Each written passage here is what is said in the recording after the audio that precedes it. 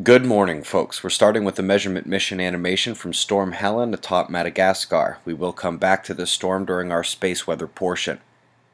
The Ubinas volcano joined Merapi and the Aleutian Islands in Alaska as having volcanic upticks this week. It was a mid-sized eruption there. Tons of articles out today about the Arctic sea ice. Rather than rehash those, let me give you some perspective from the folks who really know the ice, the NSIDC. Despite what you'll read today, this is not settled science or ultimately predictable, as evidenced by Antarctica's blatant refusal to melt as ordered by the world leaders setting new high ice records on top. South America is a crapshoot for thunderstorms today, higher than average moisture content overhead, even for the rainforest. Forecasts show thunderstorm potential over half the continent, at almost 100% of Brazil. There are two storm lines coming from those southern lows. One appears stuck between nations, and the other is set to crest Tasmania by tomorrow. I've got the wind power overlay on the wind map here for Europe. The strongest weather is still on the southeastern portion of the low, the southwestern coastlines of the continent, bringing heavy rain and strong winds to Portugal y España. That's the orange you see on Europe's weather alarm. The Americas are still seeing lows boxing in the coastlines, but the top concern tonight will be for severe thunderstorms and a slight chance of damaging hail or even a tornado. You can really see how the two opposing air masses slam together while they work out major temperature, pressure, and moisture difference in no more than a 15 mile war zone along the convergence line that's a lot of energy released to be felt by those standing below.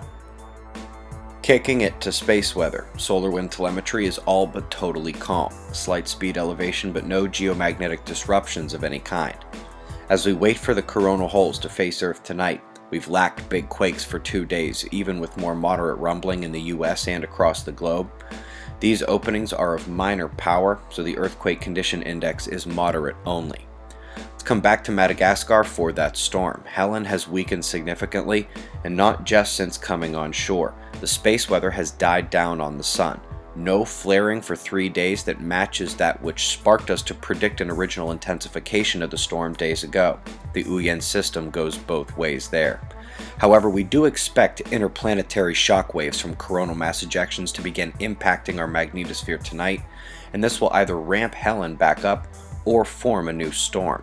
If we see more flaring, that could get really intense, and the sunspots are acting like they want to play. That central grouping got bigger and complex where you see the colors mixing in the middle. Also, the incoming group has a diabolical magnetic situation but with some slightly smaller umbral cores. Most of you know about our new project at this point. We bought the RV and are going to hit the road, do the news every day, mobile style, while trying to come shake your hands. But we also started a Kickstarter campaign to try to take the mobile observatory to another level.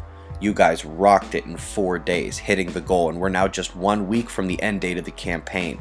If you want your name on the RV, there's just seven days left. And for those who already have a spot, this is your one week reminder that the end of the Kickstarter campaign is when we will send out the request for what name you want on the RV. Yours, your mom's, your son, your business, website, almost anything you want within reason. And thank you all for the support. We'll see you on the road and watch for that email in about a week. Space weather impacts are imminent. Earthquake condition index re-ramps briefly later today, and the sunspots have the potential for more flaring. Current conditions and shots of our star to close. Eyes open, no fear at 6:30 a.m. Eastern Time and that's the news. Be safe everyone.